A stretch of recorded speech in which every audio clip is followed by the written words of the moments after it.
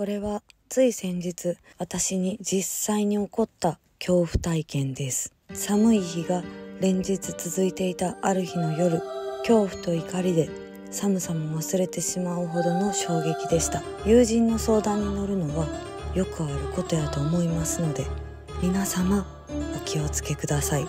どちらの立場もいつあなたに起こってもおかしくない。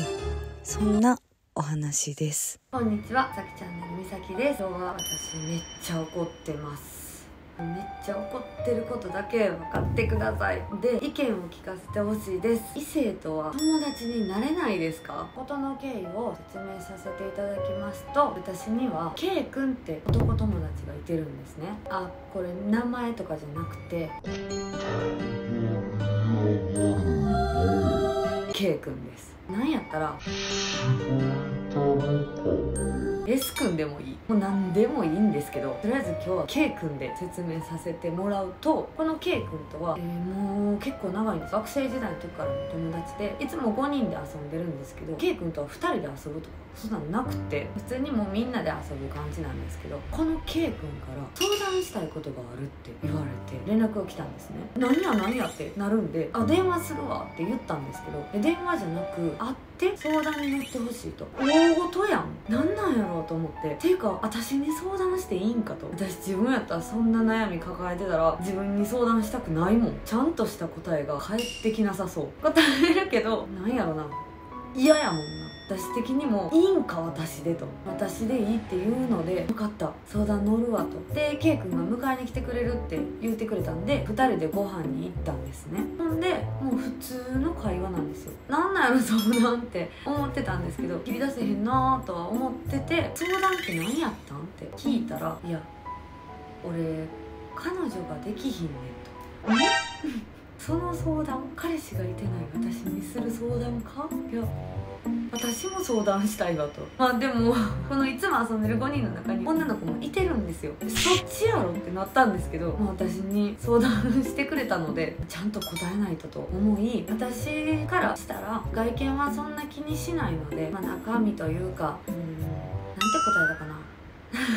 中身だったり仕事頑張ってる姿だったり何かに一生懸命なってる人が私は好きなので、何かを頑張れば見てくれてる人はいてるしって感じでほら答えになってない、まあ、答えにはなってない感じなんですけどちゃんと答えたんですよ。私なりに。ほんでご飯も食べ終わり相談も解決し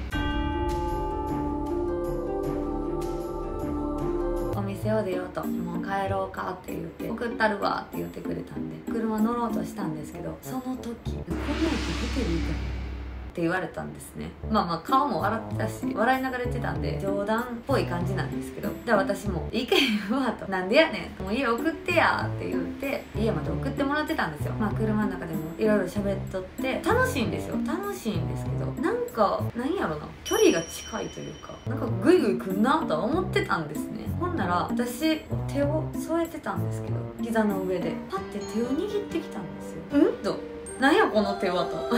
何の手やねんと。えな何？ってなって「いいよ」みたいな。話してくれへんどういう神経なのか分からへんけど私手とかつなげたくないからと。まあまあ手を離してくれたんですけどなんか変な空気になるやん。そら私もちょっとパワってなってるし。早く家つけへんかなと思っとったら違うところで曲がったんですよ。そっちちゃうでって言ってたんですけど「いいよ」みたいな。さっきからその「いいよ」って。なんやねんってなってて。もういいわ私降りるわと。タクシーでも歩いてでもどないとでも帰れるからってなったんですけどパッて車のドアロックされて。いや誰がこんな走ってる車から飛び降りんねん。ロックまでせんでいいわってなっとって。もうなとりあえず家まで送ってほしいって言ってたんですけどそのまま車を走り続けるんですね。でどこに行くんかなと思ったらラブホテルの駐車場。もう思い出したらムカついてくる。着いたよぐらい。のは着いたから何ですか？ってか着いてないし。家に送れ言うてんのに。ほんまにめっちゃ怒ってて私は。ほんなら K 君はなんか何もせえへんから。ちょっと仮眠しよう。マッサージしたろか。何もせえへんからっていう人に限って絶対何かする。仮眠家で寝ろ。マッサージしていらん。触っていらん。家に送ってほしいだけ。ほんまにそれだけ。なんやろ。彼女できひんからって女友達に手は出したらあかんし。いてへんけどお前じゃない。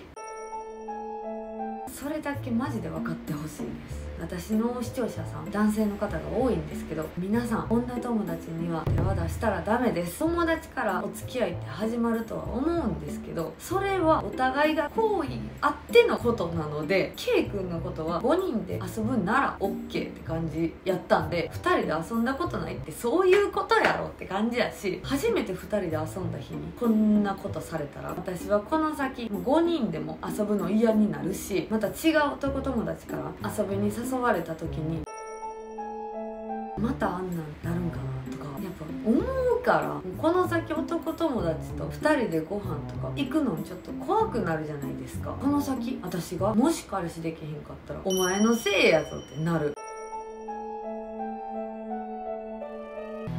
つくはい今日は不愉快な話と言いますか起こった話を聞いてもらったんですけど最初の K 君のホテル行こうかって冗談で言う感じは私的には OK やと思うんですよ。軽いジャブみたいな感じで何かアクションを起こさないとお付き合いには発展しないと思うので全然そこはいいんですけどそこで見極めろよと。そこで引いてたら私的には全然 OK やったんですよ。あ女として見てくれてたんやってちょっと思うし。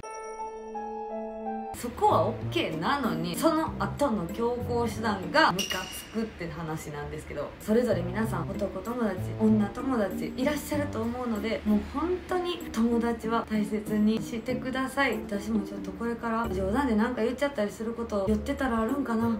私も気をつけていきたいと思います。ほんまに嫌な体験でした。またコメントでも女友達男友達は存在するのかどうか。